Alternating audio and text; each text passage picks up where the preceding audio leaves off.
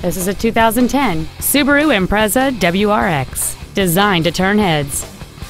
It features a 2.5-liter four-cylinder engine, a 5-speed manual transmission, and all-wheel drive.